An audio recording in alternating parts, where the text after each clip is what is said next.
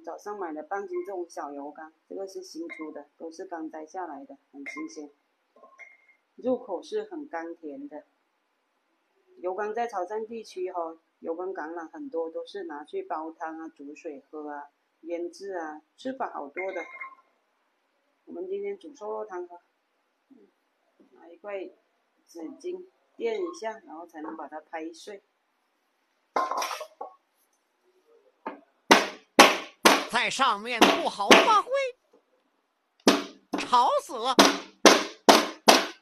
赶紧换个位置，都吵飞了。还是放到地下来，地下才好用力啊，这样很快就下来出来了，把它这样拍碎。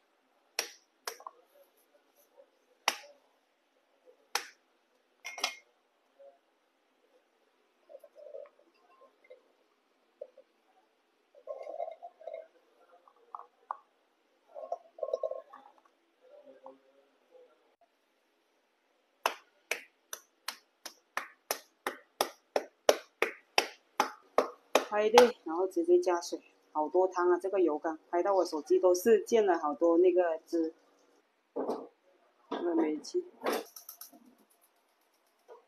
这个瘦肉等一下不吃的，水要先下去煮，让它煮出味，更好喝汤。留了几个给小孩吃，这样直接可以生吃的哈。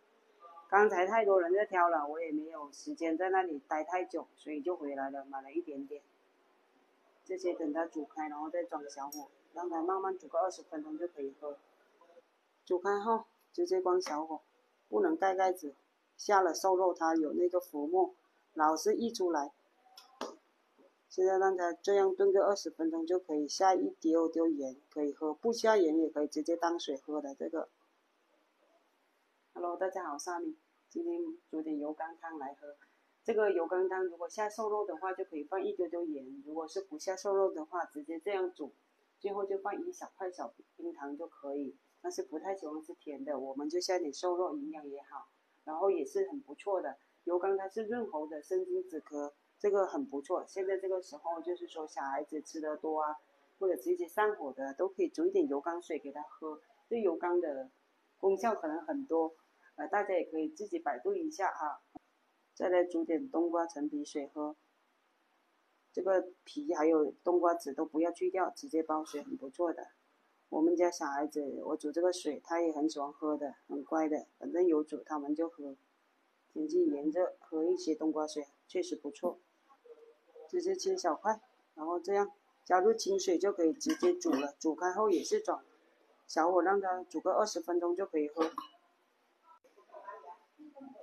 直接煮，煮这些非常简单的。如果下瘦肉的话，一定要注意，不要让它溢出来，溢出来太浪费了。因为这些都是原汁原味的水呀，就不要浪费。可以了，现在加一点点盐，盐不用多。喜欢香菜可以加两条香菜，不喜欢不加也可以啊。然后直接就可以把这个汤盛出来喝了，就喝这个汤就可以，非常。回甘清甜的，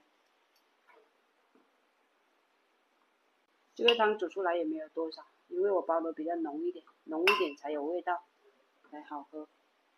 盛了两半碗出来，这碗给婆婆，然后一碗给公公。啊！你更加经典了，喝油缸汤，然后配油缸，配个生油缸。